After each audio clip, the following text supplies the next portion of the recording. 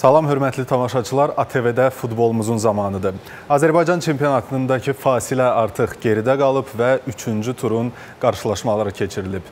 Oyunları və nəticələri həmkarlarım Fanatas saytının baş redaktoru Əli Sahib Əliyev və layihəmizin rəhbəri Sportalas saytının təsisçisi Emin Abbasovla müzakirə edəcəyik. Xoş gəlmisiniz. Başlayaq elə ən maraqlı qarşılaşmadan, bəzən Azərbaycan derbisi kimi qələmə verilən Neftçi Qarabağ oyunundan. Demək olar ki, iki fərqli hissə, hissə izlədik. Fasilədən öncə Qarabağ dominantlıq edirdi, iki qol vurdu. İkinci hissədə Neftçi çalışdı bir qədər vəziyyəti düzəltsin, lakin nəticədə məğlubiyyətdən yenə də yaxa qurtara bilmədi və beləliklə Qarabağ artıq 3 turdan sonra hələlik şərikli də olsa çempionatın lideridir. Əlsahib bəy, oyunu necə dəyərləndirərdiniz?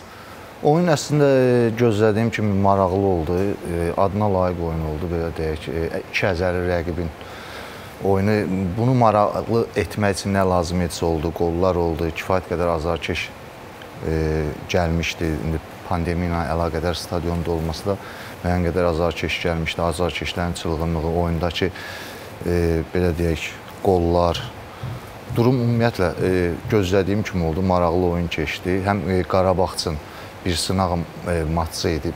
Deyək ki, e, Bazellə oyun öncəsi. Neftçi üçün də həm də azarkeşlərlə belə deyə barışmaq üçün ictimai neftçi cəmiyyəti ilə barışmaq üçün e, Avropadakı uğursuzlar, uğursuzluqları biraz unutturmaq üçün şans idi hər iki tərəfli tərəf üçün önəmli matç idi. Göz, gözlədiyim kimi oyun oldu, maraqlı oldu, amma deməzdim ki, məsələn məğlub olan tərəf Neftçi bərbad oyun oynadı və yaxud da e, Qarabağ qat-qat güclü oynadı Neftçidən. Yox, belə fikirləşmirəm. Amma həqiqətən dünənin meydanda qalibi Qarabağ oldu. İlk hissədə Qarabağ həddindən artıq yaxşı oyun göstərdi və e, bu həm də e, Ondan e, ona rəğmən idi ki, Qarabağın daha çox futbolçusu millinin heyətinə cəlb olunur və Qarabağ həm də səfərdə oynayırdı. Yəni həm yorğun, həm də rəqib azarkeşlər daha çox idi. Ancaq yenə də e, Neftçidən yəqin ki, gözlənilməz oyunu görmədi azarkeşlər. E, mən belə başa düşürəm, indi bu Qarabağın kifayət qədər artıq heyəti var və Qarabağda artıq neçə illərdir öyrəşib bu templə oynamağa. E, kifayət qədər də ehtiyatda ikinci heyəti var idi hazır. Düz hardasa problem ola bilər, düşünmürəm Qarabağ üçün bu ciddi problem idi. Millidən qayıdıb, nə bilim qarşıda oyun var. Təbii ki, problemlər də amma artıq Qarabağ üçün bu çox da ciddi problem deyil.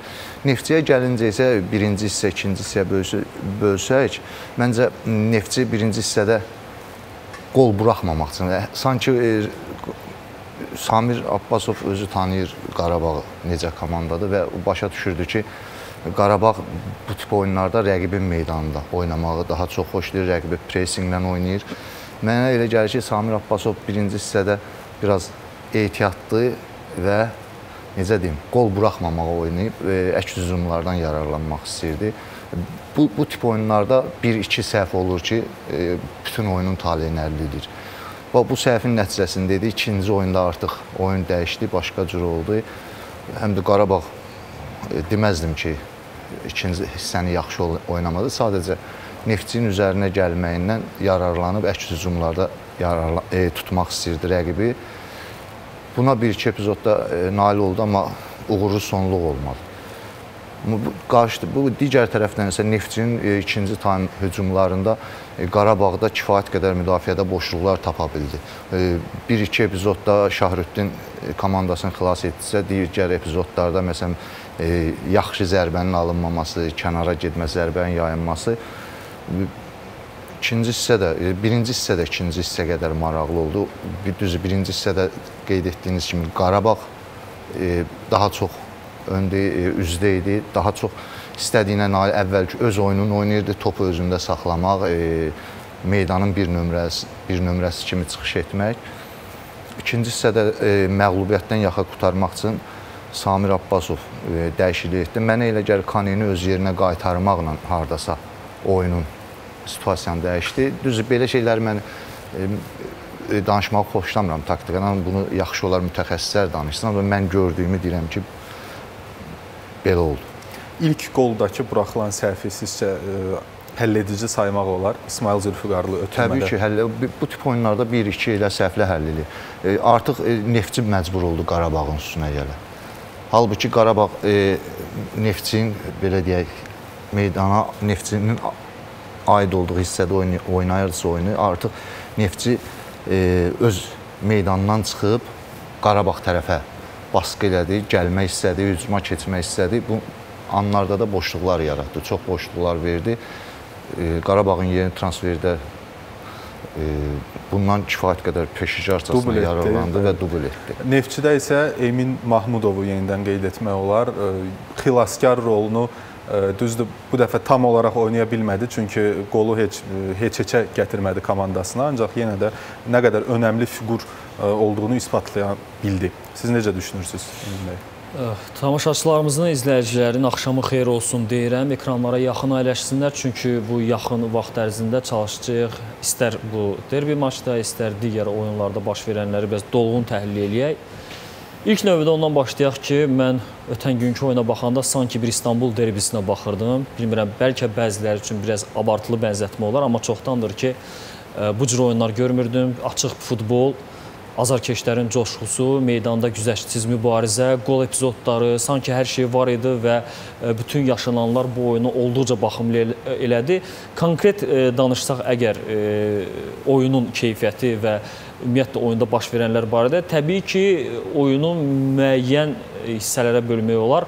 Qarabağ birinci hissədə topa daha çox hakim idi, oyununu aparırdı, qururdu.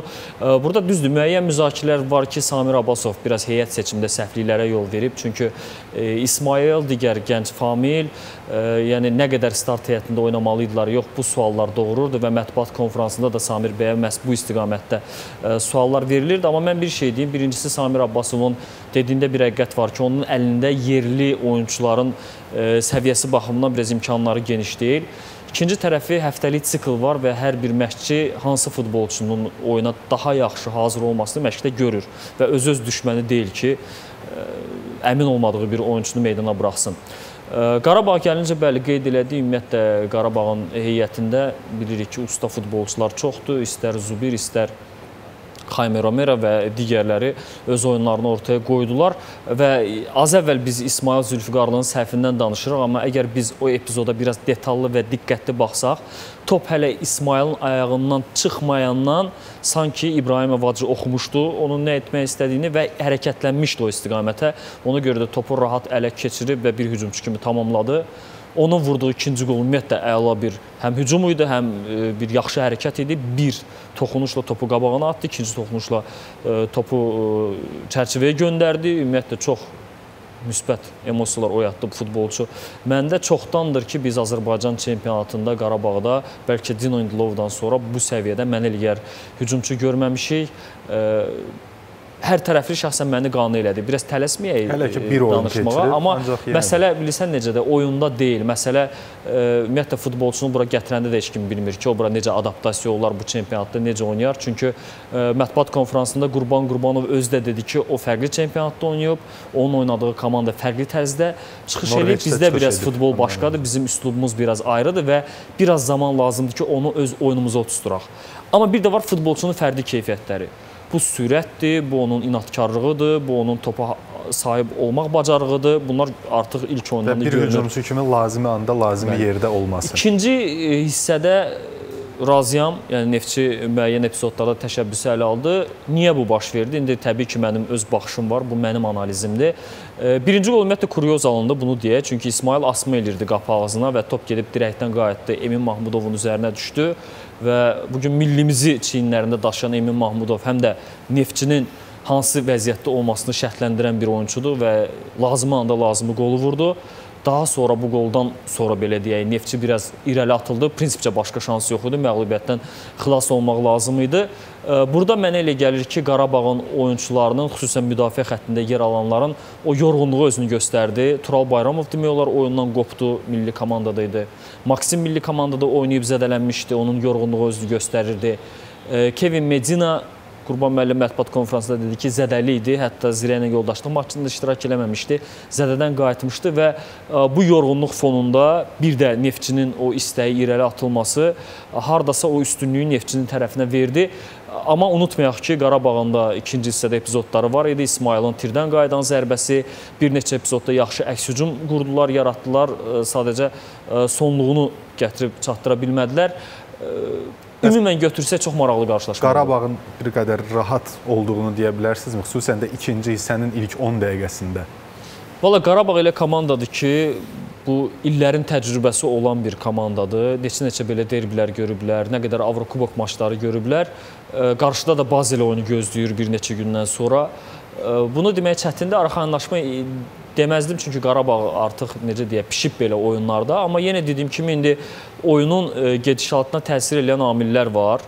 Mən yenə deyirəm, burada Neftçinin hesabı hesab arasındakı fərqi azaltması bir tərəfdən, digər tərəfdən müdafiə xəttində olan oyunçuların biraz yorğun görünməsi, ikincisi də əziyyət çəkməsi və Neftçinin irəli atılması, demək olar bütün komanda ilə o da anlaşılan idi Artıq və bütün bu səbəblərin belə deyək kökü kimi elə bir mənzərə yaranmışdı. Biz ə, ənənəvi olaraq yenə də epizodları, mübahisəli epizodları dəyərləndirmək üçün ə, Deniz Ateş Bitnel, Türkiyəli ə, sabiq FIFA referisi, təcrübəli mütəxəssisə müraciət etmişik və istəyərdik ə, həmin epizodları izləyək və daha sonra onları müzakirə edək. Herkese merhaba. Türkiye'den Azerbaycan'a kucak dolusu sevgi ve selamlarımı iletiyorum ve pozisyon değerlendirmelerimize, analizlerimize başlıyorum. Nefçi Karabağ maçından bir penaltı pozisyonu. Özellikle bu sene çok fazla tartışacağımız pozisyonları söylemiştik. El mi topa gitti, top mu ele geldi? El doğal konumda mıydı? Topun ele olan mesafesi beklenmeyen bir top muydu? Elin toptan kaçırılma ihtimali var mıydı? FIFA, UEFA ve İFAB bütün bu soruların cevaplarındaki yorumu hakemlere bıraktı. Bu pozisyon özelinde şunu söylemek gerekiyor. Oyuncunun eli doğal konumdaydı. Birincisi bu. Topun mesafesi, topun ele olan mesafesi çok kısa ve elin toptan kaçırılabilme ihtimali yok. Dolayısıyla bu kriterlere göre pozisyonun devam ettirilmesi ve penaltı verilmemesi doğru karar. Sizcə bəz necə, hörmətli həmkarlar, Emin bəy, nə düşünürsüz? Bu epizodda qayda pozuntusu var idimi, yaxud? Təbii ki, orada Dəniz bəy tam anlatdı durumu. Mənə elə gəlir penalti yox idi, amma hər halda obyektivlik olsun deyə Neftçi tərəfi də, yəni Neftçi azarkeşləri də bizim verilişimizi izləyir və burada həmişə o balansı qorumağın tərəfdarıyam. Ona görə ən azından bu epizodu Dəniz bəy müzakirəyə çıxartdıq ki, Yox deyirsə də niyə yox? İzah eləsin. Çünki professionaldır təbii ki, sabiq FIFA referisidir. Mənə elə gəlir ki, bu epizodla bağlı e, ciddi suallar yoxdur, amma mən biraz e, başqa məsələlər barədə danışmaq istəyirəm. Oyundan sonra yaşanmış. E, Samir Abbasov oyundan sonra e, komandasının soyunub geyinmə otağına gedərkən İmarət fan klubunun səhv eləmirəmsə azarkeşləri onu istefaya səsləyiblər və Təncə maraqlı bir fakt. Ümumiyyətlə maraqlı bir e, görüntü idi çünki təsəvvür eləyin ki, Barcelona azarkeşləri Realın baş məşqçisi istefaya çağırırlar. Mən şəxsən belə bir şey görməmişəm. Səbəbini açıqlamışlar. Futbolda səbəbini açıqladılar. Deyərsən amma mən öz fikrimi deyim. Bilirsiniz, Samir bəy də oyundan sonra mətbuat konfransında bu barədə danışıb, deyib səbəbi çox maraqlıdır. Mən oxumamışam. Sən də onda mən davamını gətirim. Səbəbi e, bu rəqib azarkeşlərə e, belə deyək, sataşmaq üçün, ilişmək üçün olub. Bu cür açıqlama verdilər. E, yəni ki, bizim Samir Abbasovla heç bir problem yoxdur. Samir Abbasov getsə belə onun yerinə gələn hər bir məşqçi bizim rəqibin məşqçisidir. Biz üçün e, fərq etmir. Sadəcə oyundan sonra bir atmaca kimi qəbul olunmalı idi, amma e, Samir Abbasov tez özündən çıxır. Əslində Samir Abbasovlu Neftçi bu gün Qarabağa məğlub olursa, Qarabağın azarkeşlərinə elə onun qalması səbəb etməlidir. Əslində təbii ki, elədir. Çünki e, biraz e, kənardan da doğru görünməyən şeylərdir. İndi bilmirəm, bəlkə kreativ bir addım atmaq istəyiblər, bəlkə istəyiblər ki, nəsə bir Azərbaycan futbolunda e, belə hadisələrlə həm də bir maraq qatsınlar Təzyiqin futbola. Bir növü, Amma sanki. ümumən götürəndə mən yenə deyirəm, hər bir klubun azarkeşləri öz klubundan daha çox danışmalıdır, öz baş məşqçisindən e, danışsalar daha doğru olar. Digər bir məsələ oyun sonrası mətbuat konfransında Qurban e, Qurbanovun Qurban Qurbanova xitabən sual verilib Samir Abbasova, amma biz suala yenidən qulaq asdıq. Sual belə olub ki, Qurban Qurbanov Azərbaycan çempionatında əvəz etmələrin sayının artırılması ilə bağlı bir təklif irəli sürülüb. Samir Abbasov legioner limitinin götürülməsi ilə bağlı bir belə deyək, təklif sürməyə hazırlaşırmı, hazırlaşmırmı? Bu barədə danışıb Samir bəy. Deyib ki, əgər elə bir şey varsa, mən də klub rəhbərliyinə deyərəm. Mənə elə gəlir ki, legioner limitini aradan qaldırıb daha çox sağlam mübarizəyə köklənməli. Yəni heç kim limitə görə oynamalı deyil. Kim güclüdürsə o oynayır. Və misal olaraq Emin Mahmudovu göstərib ki, mənim komandamda Emin Mahmudov var və sözündən belə çıxıb ki, istəyir hansı legioner olsun ya olmasın, güclü futbolçuda oynayacaq. Məsələni dəqiqləşdirmək üçün mən bu gün həmkarımız Qarabağ mətbuat katibi Gündüz Abbaszadə ilə əlaqə saxladım. Qurban müəllim belə bir fikir deyibmi? Gündüz mənə xatırlatdı ki, yox, əksinə Aberdinlə oyundan sonra Qurban Qurbanov deyib ki, hətta əlimin altında legionerlər olsa, hər zaman mən yerli futbolçulara güvənəcəm, çalışacağam ki, yerlilər də inkişaf eləsin. Demək istədiyim odur ki, bu biraz elə mövzudur ki, Rusiyada da bilirsiniz, çox ciddi müzakirələr gedirdi legioner limitinin ləğvi ilə. Orada da ən ölkənin ali rəhbərliyi buna icazə verməyib. Bu çox mübahisəli və müzakirəyə açıq mövzudur. Ona görə uzun zad danışmaq istəmirəm. Sadəcə e, niyə bu məsələni açdım? Mənə elə gəlirdi ki, mətbuat konfransında bəlkə çoxlarını da Samir bəyin cavabı çaşdıra bilər. Çünki mən Neftçi TV-dən canlı baxırdım və e, qıraqdan baxanlara sualı dəqiq eşitməyənlərə elə gəldi ki, məsələni Qurban Qurbanov qaldırıb Bununla bağlı biz araşdırdıq ki, yox belə bir şey yoxdur. Mən belə başa düşürəm ki, Qurban Qurbanov limitin ləğv olunmasının tərəfdarı deyil. Samir Abbasov isə əksinə fikirləşir ki, limit aradan qaldırılsa daha yaxşı olar, amma dediyim kimi hər məsələdə hərənin öz baxışı var. Mən bilən əvəz etmə limiti ilə bağlı dedilər e, Qurban Qurbanov. E, bəli. Bəli. Verin. Onunla bağlı da Ramil Musayev bir açıqlama verib e, ki, biz əslində əvəz etmə limiti ilə bağlı klublara sorğu göndərdik. 8 klubdan 6-sı razı olmadı limitin əvəz etmə limitinin artırılmasına. Ümumiyyətlə maraqlıdır. Ə, razı olmayan klublar bunu necə əsaslandırırlar? E, mən e, deyim, orada belə başa düşdüm ki, tutaq ki, Qarabağın və Neftçinin əlində kifayət qədər futbolçular geniş var, geniş heyəti var və 5 əvəz etməklə e, belə deyək, oyuna daha yaxşı müdaxilə edə bilirlər. Amma tutaq Qəbələ var, e, digər komandalar var, Sumqayıtı var. Bunlar 3 e, əvəz etməni elə an olur ki, məcbur zorla edirlər də çatdırma. Bu hallarda əslində hardasa məntiqlidir. Məsələn, onların razı olmamağı. Bəli, ən, ən çox hardasa bu yəqin ki, Qarabağa sərf eləyərdi. Çünki paralel olaraq Avroliqada da ə, mübarizə aparacaq. Və ə, demək olar ki, Qarabağ Neftçi oyunu haqqında biz ə, yekunlaşdırdıq müzakirələrimizi. Növbəti oyun Keşlə Zirə qarşılaşması idi. Keşlə ə, məğlub oldu evdə Zirəyə və ilk hissənin ortalarından Bakılılar azlıqda oynayırdı ev sahibləri.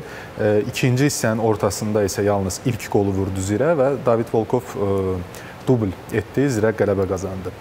Nə düşünürsüz bu oyun haqqında? Əlsahib bəy öncə sizi dinləmək istəyirəm. Sözün düzü mən e, Zirədən e, keçən mövsümdə bu mövsümdə e, Zirə uğurlar gözlə uğur gözlədiyim belə nəticə gözlədiyim bir e, komandadır. Təəssüf ki, keçən mövsüm alınmadı, amma Bu oyunda Zirənin həqiqətən e, Keşrə üzərində belə deyək, Keşrədən yaxşı oynayacağını düşünürdüm.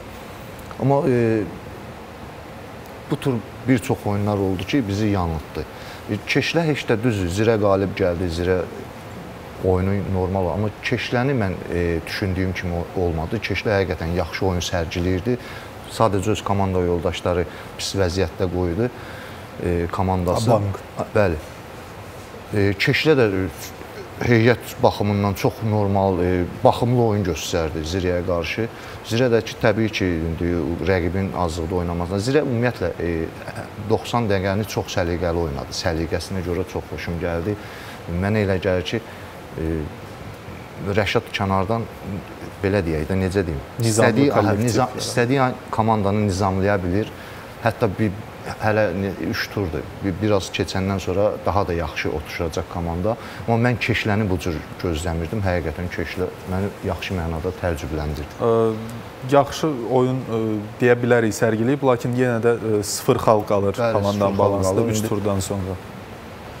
Ola bilər, gələcək. Belə deyim, indi biz danışırıq. Keşlə 3 oyuna 3 məğlubiyyətlə üzləşib. Bu istər komandanın baş məşqçisi, istər rəhbərliyi tərəfindən xoş təbiridir. Bəli, istənilən halda bu yaxşı hal deyil. Ümumiyyətlə son illər Keşlənin e, çempionatda çıxışı çox biraz belə enişli yoxuşlu alınır. Tez-tez məşqçi dəyişirlər, tez-tez uğursuzluqlara düçar olurlar və bu mövsümə də heç yaxşı başlamayıblar. Amma oyun planında götürəndə ilk iki oyunu açıq pis oynamamışlar. Çünki nə Sumqayıtla məğlubiyyətə mən deyərdim layiq deyildilər. Qəbələ ilə heçcə olsaydı, yəni o da ədalətli nəticə sayılardı, amma qələbə də qazana bilərdilər.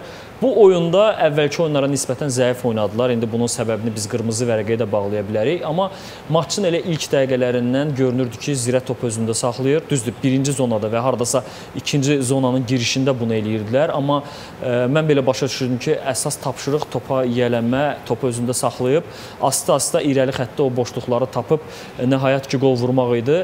Zirənin oyununa mən deyərdim ki, yeni transfer Coşqun Diniyev öz ağırlığını qoya bildi. Ümumiyyətlə ə, biz bilirik ki, Rəşad Sadıqov da açıqlamalarında deyib ki, bu mövsüm ə, daha ə, baxımlı futbol sərgiləyən komanda qurmaq istəyir. Topla daha çox oynasınlar, daha çox oyunda bir nömrə ilə çıxış eləsinlər və belə oyun stilini həyata keçirmək üçün Coşqun Diniyev, e, Muhammed indi orta xəttə keçib bu tip oyunçular çox vacibdir. Top ayaqlarında yaxşı saxlasınlar və bu baxımdan hətta qırmızı vərəqəyə qədər də Zirə yaxşı oynayırdı. Demək olar ki, total topa yiyələnmə üstünlüyü e, Zirədə idi və qırmızı vərəqədən sonra e, biraz sanki disbalans oldu. Çünki adətən biz deyirik ki, rəqib azlıqda qaldı, amma ona da uyğunlaşmaq var. Necə azlıqda qalan rəqibə qarşı oynamalısan? Niyə? Çünki rəqib artıq azlıqda qalarkən tamamilə çəkilir geriyə və başlayır əks hücumlara oynamağa.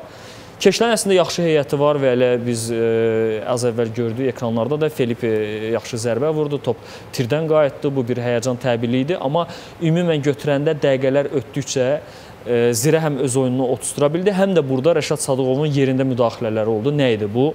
Bu biraz maarifləndirici bir şeydir, deyim azarkeşlər də İndi ola bilər kimsə diqqət yetirib, kim diqqət yetirməyibsə ə, daha detallı bunu bilsin. Ə, misal üçün Təmkin Xəlilzadə keçdi sol cinah müdafiəçisi mövqeyinə, ə, Qismət Əliyev hansı ki sağ ayaqlıdır, keçdi sağ cinah müdafiəçisi mövqeyinə və belə də artıq ə, sağ və sol cinah müdafiəçiləri daha irəliyə gedə bildilər. Nəticədə nə oldu? Təmkin Xəlilzadənin bir neçə kəsərli ötürməsini gördük qapı ağzına. Eynən ə, əks cinahdan Qismət Əliyev artıq başladı asmalar eləməyə və irəlidə get-gedə rəqibinin o boşluqlarını tapıb arzuladıqları, axtardıqları o qolu vurdular. Təbii ki, hələ ki mövsümün əvvəlidir və demək olar ki, komandalarımızın əksəriyyəti öz oyununu tapmayıb. Kimsə uğurlu start götürüb, kimsə uğursuz, amma oyun planında hələ ki nəsə demək çətindir. Bəlkə də ən hazırı, ən baxımlı, gözəgəlimli futbol oynayan komandalar elə Neftçi ilə Qarabağdır. Digərləri asta-asta indi bunu axtarırlar. İndi Qəbələ haqqında yəqin ki danışacağıq onu da deyərik. Amma ümumən götürəndə başlanğıcda Zirə üçün Neftçi və Qarabağ kimi rəqiblərin ikisindən heç olmasa birindən heçsə əldə eləyib Keşləni məğlub eləmək 4 xalla başlamaq pis başlanğıc deyil. Çünki reallığı da nəzərə almalıyıq. Komanda var deyək ki, misal üçün Keşlə, misal üçün Sabah. 3 oyun Sabah, məğlub olublar, amma hələ qarşıda Neftçi, Qarabağ kimi iddialı rəqiblər var. Amma Keşlə 4 xal toplayıb, üzr istəyirəm, Zirət 4 xal toplayıb, ən azından bilir ki, bu iki rəqiblə ilk dövrədəki oyunlar gedib. Qarşıda daha münasib rəqiblərlə oyun gözləyir. Düzdür, heç kim deyə bilməz ki, o oyunlardan Zirə %100 xal nəticəsi göstərər və ya düşündüyü xalları qazanar. Bunu demək çətindir. Amma ən azından hansı rəqiblə oyunda hansı nəticəni göstərə bilərsən deyə bir ehtimal dərəcəsi faizi var. Bu baxımdan Zirənin vəziyyəti biraz daha yaxşıdır. Keşliyə gəlincə nəsə demək çətindir. İndi durub məsləhət görəsən ki, Sənan Qurbanovu da çıxarın, başqa bir məşqçi tapın. Artıq son illər ümumiyyətlə bərbad bir görüntü, bir mənzərə yaranıb Keşlə barəsində, Keşlə ətrafında. Yox deyəsən saxlayın, yaxşı yaxşı 3 oyun məğlub olublar. Bir 3 oyunda məğlub olsalar nətər olacaq? Bu suallar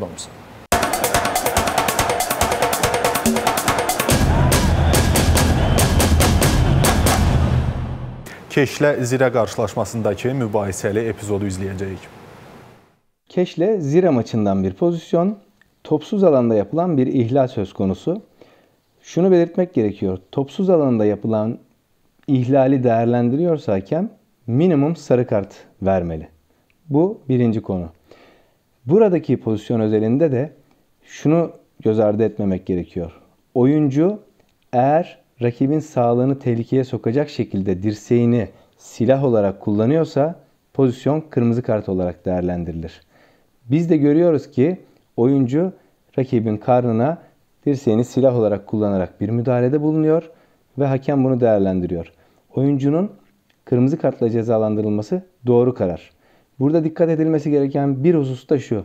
Oyuncu kırmızı kartı gördükten sonra suçluluk psikolojisiyle zaten oyundan çıkıyor. Dolayısıyla oyuncu da yaptığı hareketin farkında ve hakemi destekliyor. Müzakirə edəcəyimiz növbəti oyun Sabah Qəbələ qarşılaşmasıdır ki, Sabah da keşlə kimi, öncə qeyd etdiyimiz kimi, hələ ki 0 xala malikdir və evdən məğlub oldu Qəbələyə. Burada da hər iki qol ikinci hissədə vuruldu və Qəbələ maraqlıdır ki, hal-hazırda çempionatın Qarabağla birlikdə şərikli lideridir. Qarabağ düzdür müəyyən digər göstəricilərə görə Qəbələdən üstündür, lakin yenə də Qəbələnin ilk pillədə olması bəlkə də hardasa gözlənilməz bir hadisədir. Əlisav bəy, siz necə düşünürsünüz? Qəbələ yoluna bu cür şəkildə davam edə biləcəkmi? Qəbələ adına öncə e, həqiqətən bölgə futboludur. Qəbələ adına həqiqətən sevin, sevinirəm, çünki sevindirici halda Qəbələ e, son zamanlar sıxıntıları hamımıza məlum idi. E, Qəbələ Azərbaycanı belə deyək Avro Avropada kifayət qədər yetərincə layiqli şəkildə tə, e, belə necə deyək, təmsil edib, bəli, qruplara vəsiqə qazanıb, özə ən uzun e, yol gedən bir e, komanda olub. Bizdə məsələn Qarabağ səhv eləmirəmsə 2-ci, 3-cü mərhələdən qoşulanda Qəbələ həmişə 1-ci mərhələdən gedib ən uzun marafon yol gedən e, klub olub. Bu gün də qələbə e, Qəbələnin bu cür qələbələri e, futbolumuz adına yaxşı bir şeydir, yaxşı bir hissdir.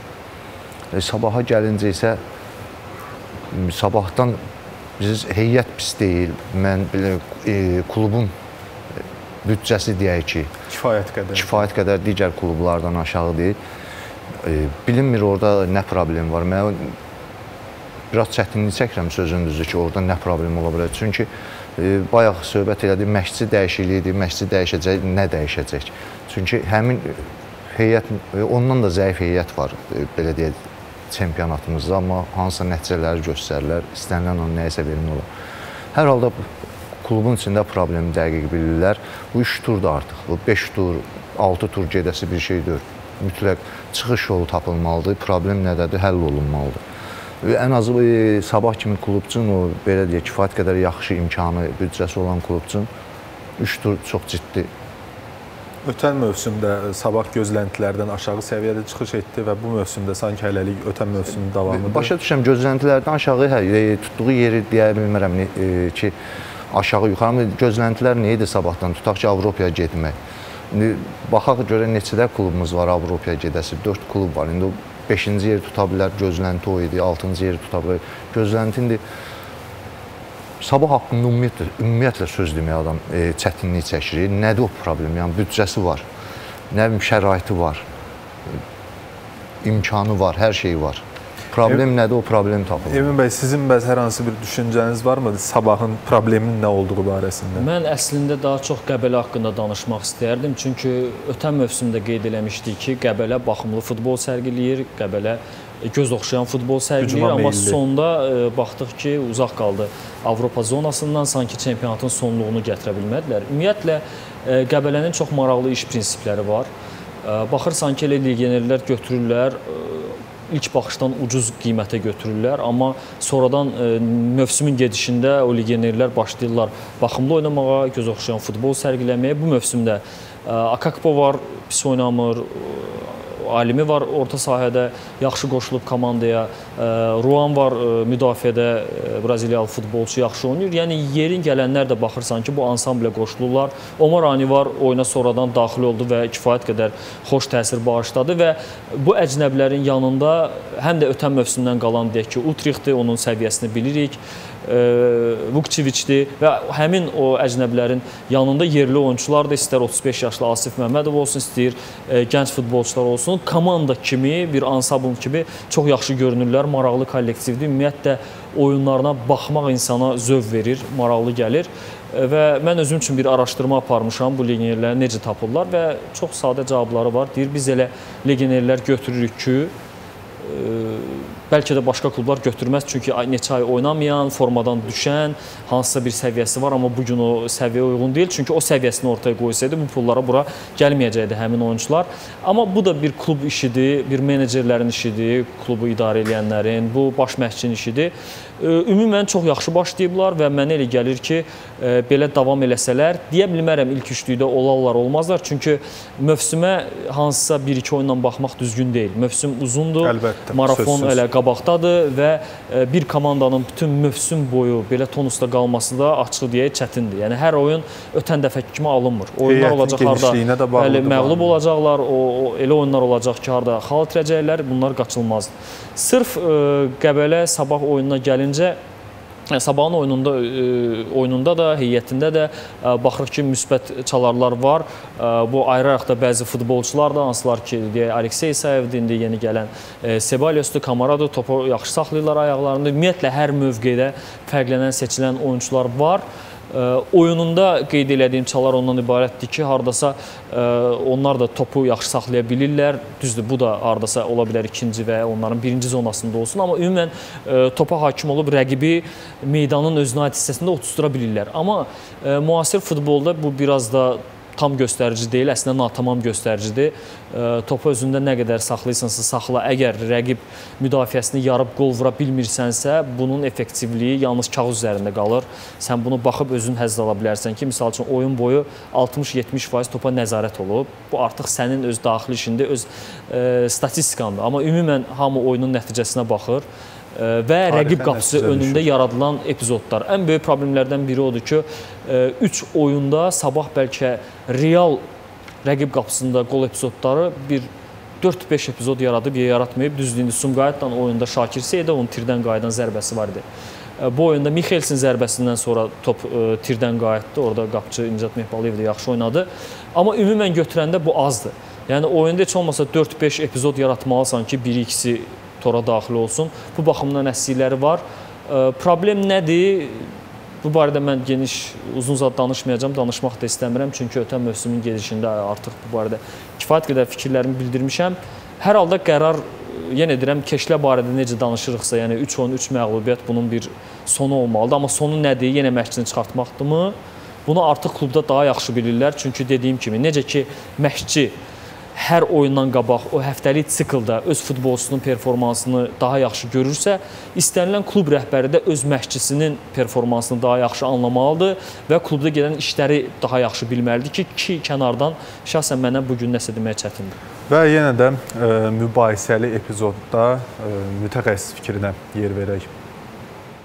Sabah Gebele maçından bir bariz gol şansı tartışması.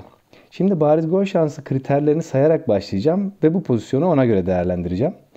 Bariz gol şansı kriterleri 4 tane. Birincisi ihlal ve kale arasındaki uzaklık. İkincisi oyunun topun yönü.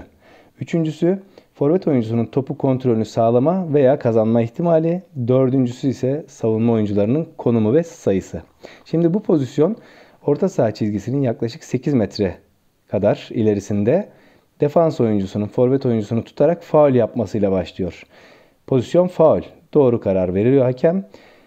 Fakat birinci kriterimiz neydi? İhlal ile kale arasındaki uzaklık. Yaklaşık kaleye 45 metre mesafe var ve birinci kriterimize uymayan bir pozisyon.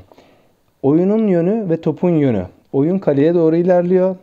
Top hafifçe sol tarafa doğru açılıyor ve ikinci kriterimizi de tam karşılamıyor. Üçüncüsü topun kontrolünü sağlama veya kazanma ihtimali. Evet forvet oyuncusu topun kontrolünü sağlayabilecek durumda ve kazanabilecek durumda. Fakat dördüncü kriterimiz savunma oyuncularının konumu ve sayısı. Dört tane savunma oyuncusu var. Özellikle sol kanattan hızını alarak topa doğru koşan savunma oyuncusunun forvet oyuncusuna müdahale ederek topun bariz gol şansı olmasını engelleme ihtimali çok yüksek. Dolayısıyla bu kriterlerin tamamını karşılamadığı için bu pozisyonun faul ve umut vadeden atağı engelleyen bir pozisyon olarak değerlendirilmesi doğru karar. Sabiq FIFA referisi Deniz Ateş Bitneli dinlədik. E, Kifayət qədər ətraflı bəhs etdi bizə epizoddan. Emin bəy, qısaca olaraq sarı yoxsa qırmızı sizcə? Yox, qısaca yox. Gəl mən ətraflı danışım. Buyurun. Niyə? Bunun da səbəbi var. Çünki e, bir neçə gün əvvəl e, bizim Hakimlər Komitəsinin və Hakim İnspektor Komitəsinin rəhbəri Ştuxlik bu epizoda toxunub və deyib ki, əgər VAR sistemi olsaydı bu epizodda qırmızı vərəqə də göstərilə bilərdi Qəbələnin futbolçusuna. Dəniz bəy biraz fərqli açıqlama verdi bu epizodla bağlı. Açığı mən efirdə baxanda ilk baxışdan mənə də elə gəldi ki, qırmızı vərəqədir və fikirləşdim ki, bir ciddi səhv olub. Niyə biz Dəniz bəyə müraciət eləmişik ki, bu epizodları bizə şərh eləsin? Birincisi neytral adamdır, açıq deyək. O nə Qəbələ tanımır, nə Sabah tanımır. Bəlkə eşitdiyi elə Qarabağla Neftçidir. O da uzaqdan uzağa Türkiyədə tanınmış ekspertdir, çox məşhur verilişlərə çıxır və belə deyək də bu hamımızdan neytral adam budur. Ştuxlik deyir qırmızıdır və yuxarı aşağı mən belə başa düşdüm ki, Ştuxlikdə elə mənim kimi görür epizodu, amma Dəniz bəy nə deyir? Bəzi kriteriyalar gətirir ki, belə epizodlarda 4 belə deyək, bənd var, onlara nəzər yetirmək lazımdır. Birincisi qapıdan çox aralı idi futbolçu, ikincisi düz xətt üzrə getmirdi, top yanaqki gedirdi. Üçüncüsü arxadan gələn e, futbolçular var idi. Ən yaxın mən belə istəyirəm Məqsəd İsayevdir. Məqsəd sürətli futbolçularsa çatırdı. E, mənə bir mənalı şəkildə fikir bildirmək çətindir. Ümumiyyətlə həmişə demişəm ki, mən e, bu barədə danışanda çətinlik çəkirəm. Qaydalar tez-tez dəyişir hər deyək ki, mütəxəssisin öz açıqlamaları var və burada professionallardan söhbət gedir. Bir tərəfdə Ştuxlikdir, bir tərəfdə Dəniz Ateş Bitneldir. Dəniz bəyin üstünlüyü odur ki, neytral adamdır. Yəni açıq deyək. Onun üçün burada Qəbələyə qırmızı vərəqə verildi, nə olacaq, verilmədi, nə olacaq, niyə kimisi tərəfini tutsun. Amma epizodu belə şərh verib. Mənə elə gəlir ki, indi hər kəs baxıb öz çıxarlarını eləyə bilər. Sizin bir əlavəniz varmı? Xeyr, hakimliklə bağlı ümumiyyətlə bu tur hakimliklə bağlı biraz o e, mərkəzi oyunlara biraz gənclərin e, bir gün öncəki oyunlara təcrübəlilərin təyinat alması biraz maraq doğururdu. Amma e, Qarabağ Neftçi oyunundakı oyunu gənc Əhmədovun oyun idarə Rövşən Əhmədovdur, səhv eləmirəm. Rövşən Əhmədovun oğlu Rəşad Əhmədov. Rəşad Əhmədov, amma mənə görə açıq pis oyun idarə etmədi. Pis oyun idarə etmədi, yaxşı oyun idarə etdi.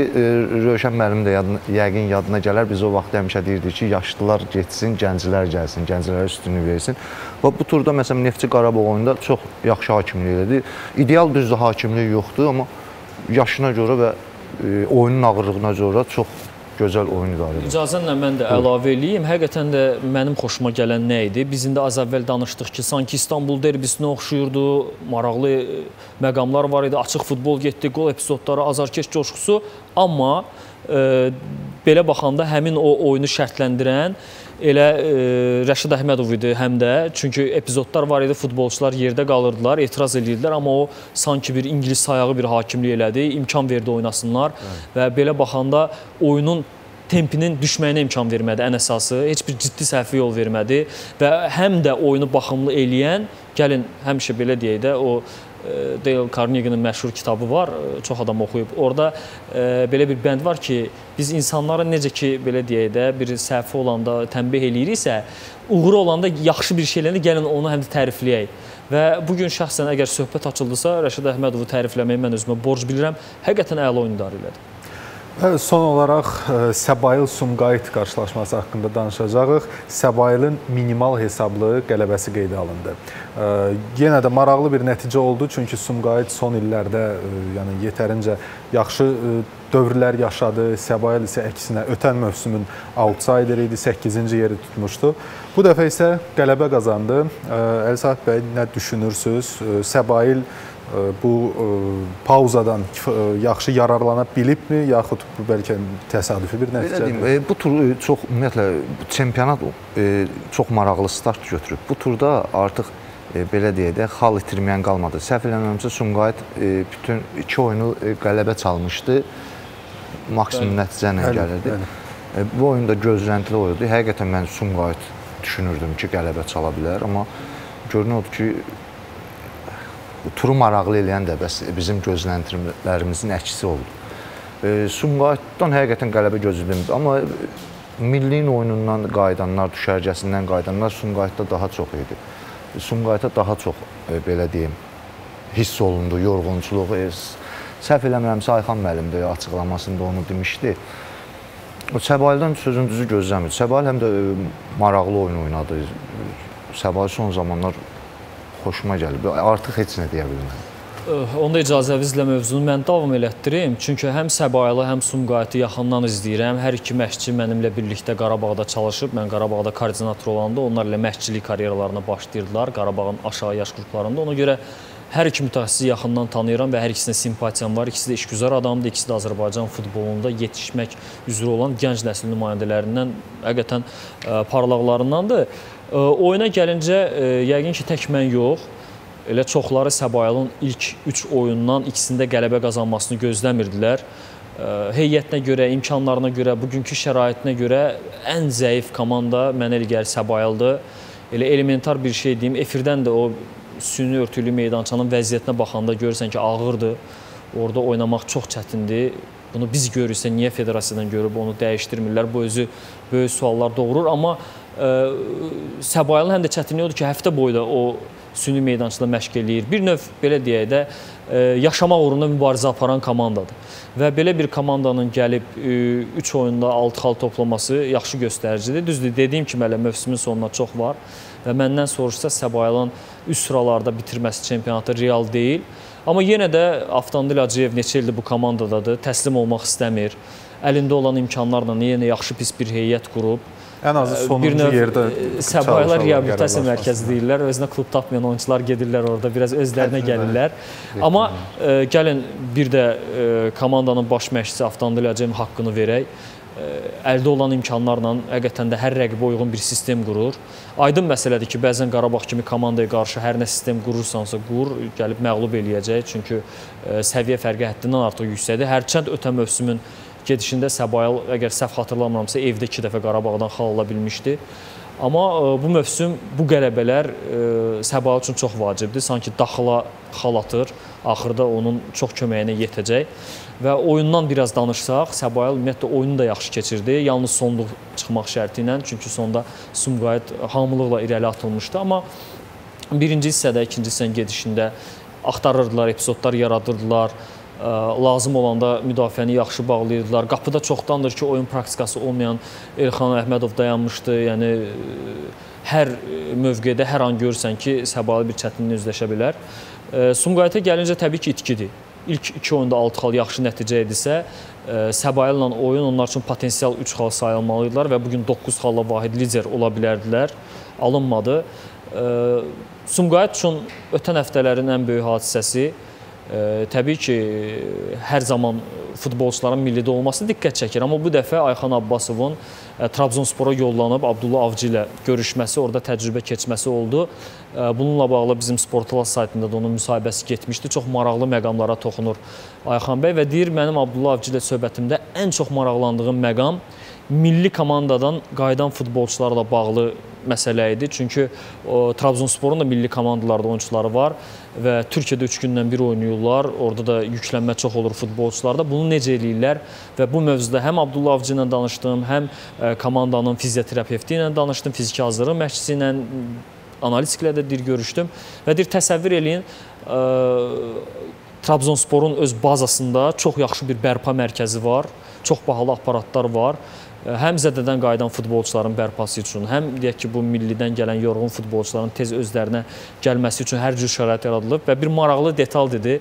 Deyir, təsəvvür eləyin, Abdullah Avcının 11 köməkçisi var və bu köməkçilər üçün klubun bazasında ayrılmış ayrıca 4 mərtəbəli ofis var. Adamlar gəlirlər səhərdən axşama qədər orada öz işlərini görürlər. Hələ bu Trabzonsporda deyə görün Avropada indi nə tip modellər var və Biraz bu mövzudan belə haşiyə çıxım deyim. Mən Qarabağ Neftçi oyununa baxanda, daha doğrusu Neftçi Qarabağ bu iki komanda arasında oyuna baxanda fikirləşdim, kaş Azərbaycanda daha 3-4 belə komanda olardı və o zaman görün biz necə çempionat izləyə bilərdik, bu ajotaj necə böyüyə bilərdi və yaxşı olardı ki, bölgələrdə belə komandalar olsun. Vaxtı ikən elə 12 komanda olanda çempionatda fərq var idi. 12 ola bilər, 14 ola bilər. Əslində bilirsən burada meyar heç tək e, göstərici sayı komanda deyil, sayı da deyil. Səviyyədir. Yəni Xəzər Lənkəranda mənim yadımdadır ki, Moeklə yoldaşlıq oyununa 5000 gəldiyi vaxtlar var idi. Amma son mövsümdə ümumiyyətlə meydan meydana adam gəlmirdi. Çünki artıq biraz inamsızlıq yaranmışdı, heyət zəifləmişdi. Bölgələrdə komanda komandaların olması çox yaxşıdır, amma mütləq şəkildə elə bölgələr var ki, orada iddialı komandalar olmalıdır. Bu Gəncədir, bu Tovuzdur, bu deyək ki, həmin Lənkərandır. Və biraz təzədən qayıdım mövzumuza. Yəni Ayxan Abbasov üzərində çalışır. Sumqayıt hər mövsüm demək olar ki, yuxarı pillələrdə yer almaq üçün əlindən gələni eləyir. Hardasa udacaqlar, hardasa uduzacaqlar və bu oyunda alınmadı. Hərçənd oyunun sonlarında heç olmasa heç hissəni qoparmaq olardı. Heç nə itirilməyib, irəli baxmaq lazımdır və yenə deyirəm mən bu oyun barədə danışsam ayırarıq da həm Aftan Dilacıyev, həm Ayxan Abbasovun adına sevinirəm. Və Səbail Sumqayıt qarşılaşması ilə bağlı da ə, Deniz Ateş Bitner'in şərhlərini dinləyək. Yəni ki, mübahisə mübahisəli epizodlardan söhbət gedir. Səbail Sumqayıt maçından bir penaltı pozisyonu. Defans oyuncusu ve forvet oyuncusu top için bir mücadeleye giriyor. Topu kazanmak için bir mücadeleye giriyor.